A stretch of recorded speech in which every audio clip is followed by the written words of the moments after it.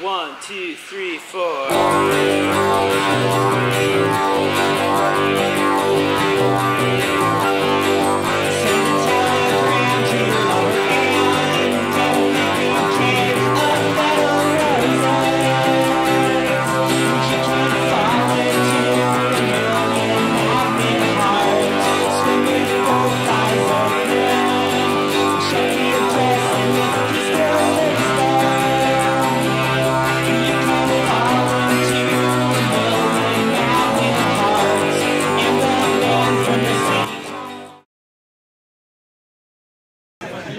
Up, YouTube? This is Fraser back with my good friend Anton for episode three of Vlogger in Paradise. Who am I? Who's my daddy? Who are you and who's your daddy? Well, I am probably the best friend that Fraser's ever had. You know, Debatable. I, I am. You know, I'm an amazing poker player. I'm humble. um, so yeah, we met playing poker actually, me and Fraser. So, um, so I think it's fitting that I How was long the person ago that you interviewed. How long ago was that now? Six, seven years ago. Yeah. Seven, probably. Yeah. Probably seven. I think poker is definitely something that we have in common that's quite special because um, not that many friends of ours are into it. Did you ever know anyone before me that was as obsessed as you are at poker? Like live, No, breathe, no, sleep? no. Me neither. So I think we're meant to talk a little bit about our exploits together Yeah. as poker players, reminisce, We look have- back at we the good times. had, uh, Tell me about the Havana Club. Oh, What I didn't expect mean? that, to come up. What does that mean? That means you and me, Yes, drunk, yes. sitting together into early hours in the morning, playing heads up poker. Correct. And what usually happens? One of us cries, Yeah. normally you, I think uh, and you often storm out really upset. You even said in my wedding, that uh, it would often end in tears. Me storming out, you chasing me down the road, which I That don't. always happens. I don't it's like a believe- I romantic. don't remember it's that like a bit. romantic drama. You're in my shoes. You've won this amazing competition, and Yeah. you have I'm going to paradise. you have four months to prepare. Okay. Okay. Um, like historically, we play in small pub games and sometimes in the casino. Correct. How on earth do you plan and prepare for a twenty-five thousand dollar tournament? Well, I think I would have to take a number of steps, Fraser. Yeah. I would, first of all, I would definitely try and get some practice of these kind of bigger buying events. Okay. So buying Well, how much for are the, you willing to sort like invest? 200 pounds at a time, Okay. maybe like some of these Aspers or Hippodrome uh, tournaments that they have. Yeah. And that's just to A, play a better structure than our usual turbo bullshit. And B, just to get familiar with that feeling and like just kind of like the sick feeling of playing for, for money. Yeah. That actually counts a little bit. Okay. Bit of cider. All right. The question is, Anton Zykin, Yeah. I wonder what it'll be. and believe it or not, they talk about this in lots of podcasts. We've actually spoke about this at length. About three seconds ago. Uh, we spoke about it a little while ago, um, usually after a few drinks. And the question, the golden question, is always who is your dream lineup?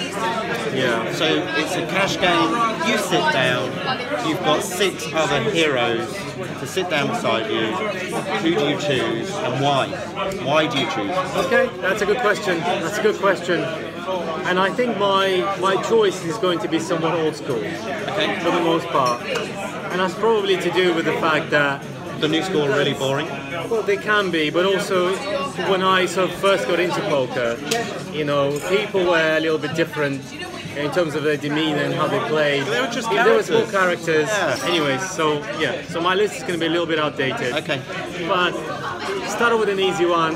Let's throw Danny Negreanu in there. Oh, Danny Negreanu. Classic. Classic you know. choice. He is probably the most influential poker player In the world? today. Yeah. Yeah. Yeah. Okay. Uh, Nick Schulman, probably the greatest commentator today.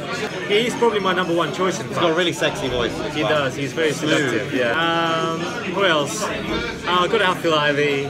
You know, legendary. Yeah. And this might surprise you, but I will get all the Phils in. Phil Hellmuth. You've got to have the poker brat. You've got to get the brat in. Yeah. Just for entertainment and Yeah. comedy value. He's going to blow up. It's going to be up. hilarious. It's gonna be it's gonna be great. But in order for him to blow up, I need to invite another guest, Oh. and that is Tony G. Oh. Those two, like, Wow. fine. And my final pick would probably be Vicky Coren, Oh, perfect. legend, legend of the, UK only two-time the only two-time EPT champion. Main event winner. Now that we're good friends, Yeah. you've been in my uh, wedding, Yeah. uh, but I didn't really ever get to properly thank you properly. Yeah. So I got you a little present. Ooh, that's exciting.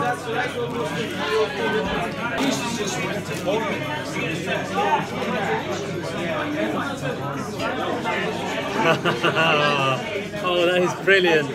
That's a really cool gift. Look at this, guys. Favorable. Classic Andrew Neeme.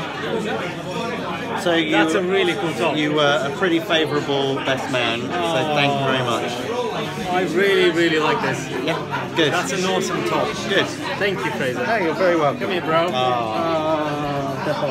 Thank you. Okay, in summary, we've had a fantastic time here It's been lovely. It's been lovely. Uh, I've really enjoyed catching up with you. Me too. Talking about poker, talking about good times. Indeed. Goodbye. Cheers for the final time. Cheers.